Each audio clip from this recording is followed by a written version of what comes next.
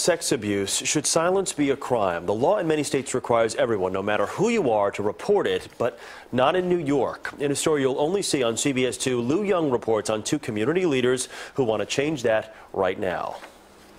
20 years after he was molested, Penny Taub still deals with the pain. It happened right here in Borough Park, under the nose of the community that was supposed to protect him.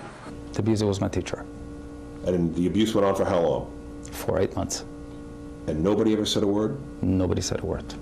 Some here are demanding a law to require a call to police if a child is being abused. David Mandel is the director of OHEL, an interstate social service agency that caters to the Orthodox Jewish community. all individuals in all states should be required to report it.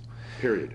Period. This is a good time to change the law. Right now, only 18 states require regular citizens to report child abuse to police when they are aware of it. New York and Connecticut are not among them. Neither is Pennsylvania, where Joe Paterno met the letter of the law by telling only his employer about assistant coach Jerry Sandusky.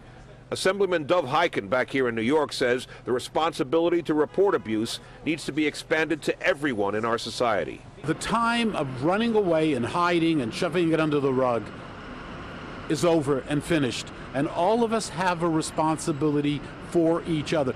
Because the silence is as bad as the act, isn't it? Um, I will say worse. Worse. Yep.